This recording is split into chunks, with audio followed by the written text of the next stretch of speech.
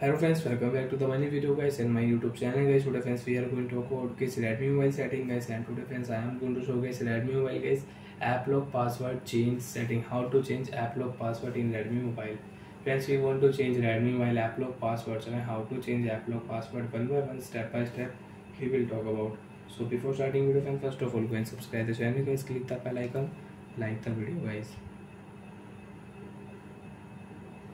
Open your phone setting friends.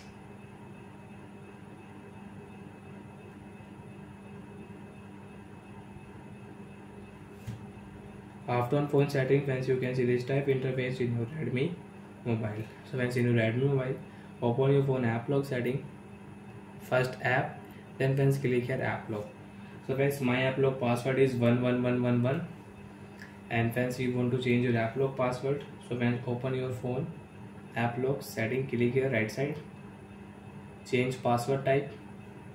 and select your password type pattern pin and password friends i want to use pattern lock and once you want to use pin lock password you can select I will select as pattern lock and press I will draw pattern so I will draw this pattern for app lock same pattern press again draw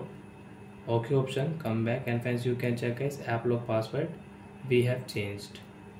friends again click here app lock settings so friends you don't have pin lock password you have pattern lock draw pattern and you can unlock your app lock setting